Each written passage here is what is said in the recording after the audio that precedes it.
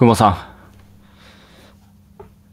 まあ、自分の価値を上げた方が一番いいですよね。はい。いや、僕もあの、邁進してますね。自分の価値を上げるっていう。うん。まあ、それがまあ、間違いないことですよね。自分のスキルを上げる。うん。だからその、動画を撮るのだったりとか、喋るのが僕は苦手だったんですけども、喋れるようになればね、人前で喋れるようになる、プレゼンテーションできる、人前でセールスができるようになれば、価値上がると思うんですよね。人を魅了するトークができる。例えば、まあ僕は歌はできないですけども、じゃあ歌のね、ミスミスター・チルドレンとかね、桑田佳祐とかね、あのー、なんだ、人を魅了してるじゃないですか。人を魅了してる人って、え、お金入ってますよねっていう。あなたがお金持ち、お金持ちじゃなくてもいいんですけど、お金が少ない理由って人を魅了できるスキルがない、人を魅了できる価値がないんじゃないですかね。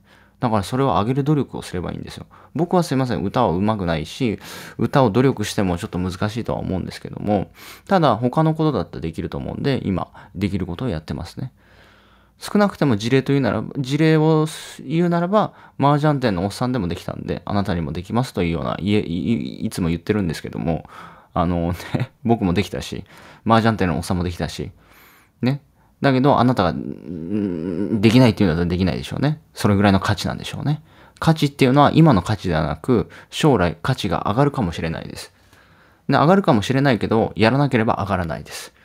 いってらっしゃい。